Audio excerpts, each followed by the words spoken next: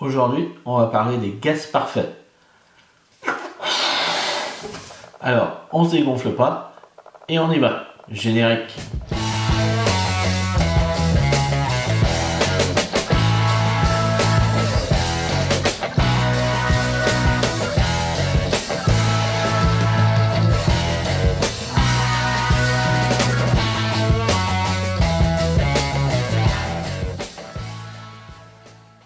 Dans une vidéo précédente, j'ai défini ce qu'était un système thermodynamique et comment on pouvait le caractériser à l'état d'équilibre avec des variables d'état, c'est-à-dire des grandeurs physiques mesurables à l'échelle macroscopique. Mais est-il possible de relier ces variables d'état entre elles? Sont-elles liées ou totalement indépendantes? L'idée de trouver des relations entre les variables d'état est ancienne et notamment par l'étude des gaz et cela se retrouve dans les travaux de nombreux physiciens. L'Irlandais Robert Boyle en 1662 et le Français Edmund Marriott en 1676 mettent en avant que pour un gaz, le produit de la pression par le volume est constant. P fois V égale constant. C'est une première relation. Le Français Jacques Charles établit en 1787 que pour une pression donnée, le rapport du volume par la température est constant soit pour deux états différents, V1 sur T1 égale V2 sur T2. Cette deuxième relation permet de lier le volume et la température.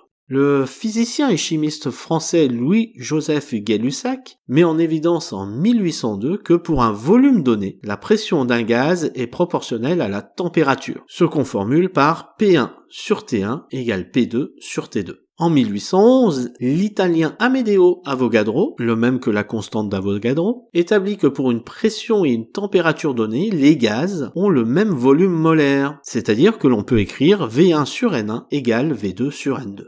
Il faut quand même attendre 1834 pour que le physicien Émile Clapeyron relie toutes ces relations en une seule, l'équation d'état des gaz parfaits. P fois V égale N fois R fois T, ou juste PV égale NRT.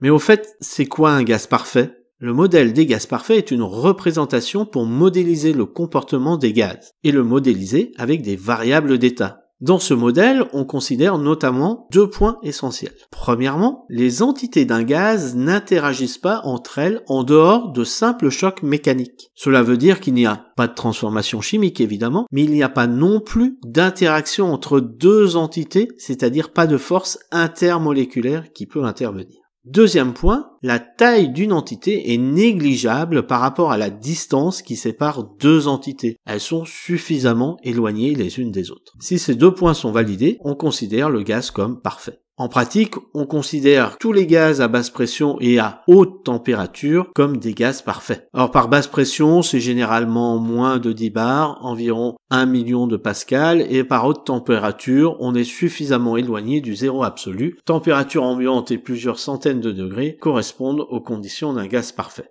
Revenons à notre relation d'état des gaz parfaits, PV égale NRT. C'est une relation à connaître et à savoir exploiter. Savoir exploiter déjà en connaissant les unités de chacun des termes. On est dans les unités du système international. On a donc la pression qui s'exprime en pascal. Un bar c'est 100 000 pascal, une atmosphère c'est 101 325 pascal. Le volume est en mètres cubes. Attention, le volume n'est pas en litres, il est en mètres cubes. N est la quantité de matière, c'est donc en mol. T est la température en Kelvin, pas en degrés Celsius. Et on a la relation qui est degrés Celsius plus 273,15 égale la température en Kelvin. Enfin, R est la constante universelle des gaz parfaits. Cette constante vaut 8,314 462 618 553 24 joules par Kelvin par mol exactement, mais généralement on donne 8,314 ou 8,31 joules par Kelvin par mol. Cette relation montre la dépendance des quatre grandeurs d'état entre elles. Il suffit d'en connaître trois pour calculer la quatrième. C'est surtout ce qu'on va vous demander de savoir faire en terminale.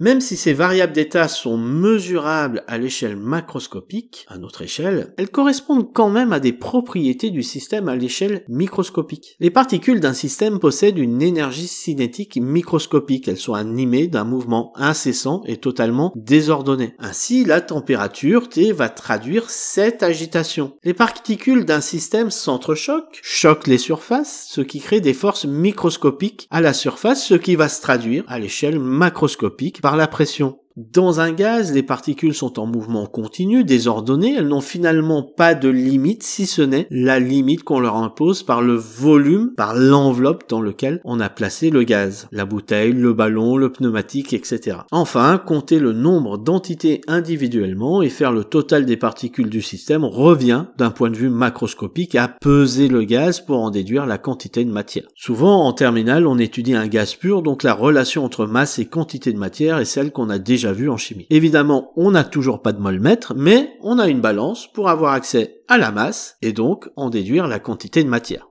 Ainsi, avec cette équation, on peut expliquer que pour une température donnée, si le volume augmente, la pression diminue. Moins de choc, la pression est moindre. Si à un volume constant, on maintient la température constante, l'ajout de gaz augmente la pression. De même, si on augmente la température à volume constant, la pression augmente. Voilà, vous pouvez vous amuser avec les simulations de l'Université du Colorado. Elles permettent de visualiser les différents phénomènes que je viens de décrire. Les liens vers les simulations sont dans la description. Alors comme tout modèle, le modèle des gaz parfaits, il a des limites. À haute pression, on ne peut plus négliger le volume occupé par les molécules devant le volume occupé par le gaz. Les entités sont de plus en plus serrées, on s'écarte d'une des conditions données en début de vidéo sur le modèle des gaz parfaits. Pour certains gaz, on a des interactions importantes entre les molécules de gaz. On a des liaisons intermoléculaires. Enfin, à très très basse température, l'énergie cinétique devient trop faible et on ne peut plus négliger l'énergie d'interaction.